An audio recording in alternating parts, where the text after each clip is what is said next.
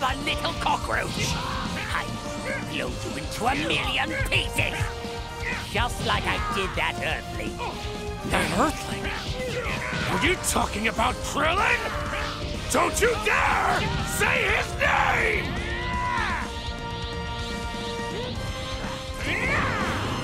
Get ready to see my real!